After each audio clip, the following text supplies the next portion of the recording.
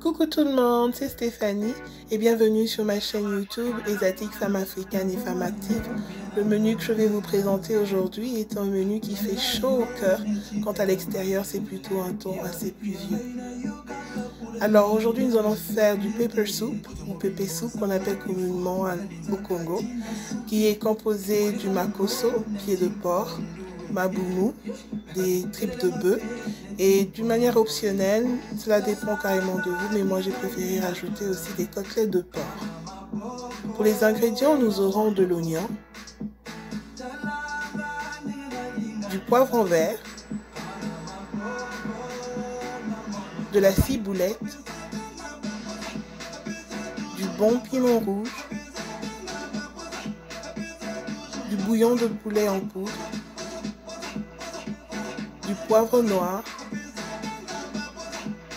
Après y avoir mis tous les ingrédients, mélangez la viande, ajoutez de l'eau et laissez bouillir pendant au moins 1 heure à 1 heure 30 jusqu'à ce que la viande soit bien tendre.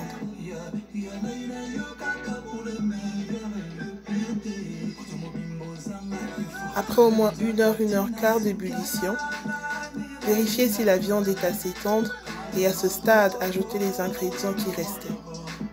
Ces ingrédients sont de la tomate, la moitié d'une barre de beurre, du curry, de la coriandre,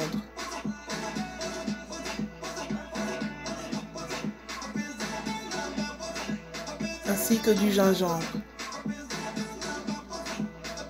Mélangez le tout et laissez bouillir encore pendant au moins 15 à 20 minutes.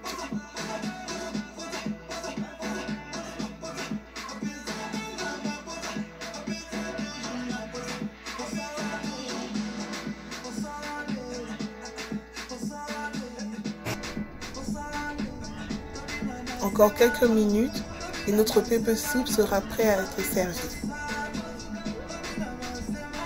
Elles sont pas belles ces couleurs?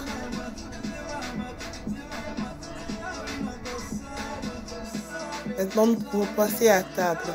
Le pépé soupe de Mako Somabu et pork chop et sera servi avec de la chikwang ou bâton de manioc.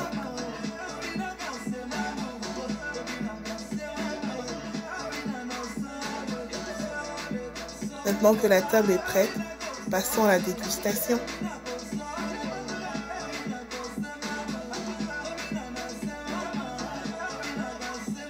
Merci infiniment d'avoir suivi cette petite vidéo. Si vous avez aimé, n'hésitez pas à vous souscrire et de partager avec des amis.